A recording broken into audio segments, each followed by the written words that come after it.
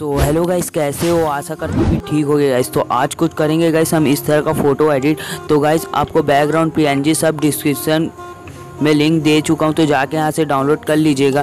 तो गाइस अभी तक हमारे चैनल को सब्सक्राइब नहीं किया हो तो सब्सक्राइब कर लो और बेल आइकन को भी प्रेस कर लो, क्योंकि गाइस मैं ऐसी डेली वीडियो अपलोड करता हूँ. तो चलिए गाइस वीडियो को शुरू करते हैं.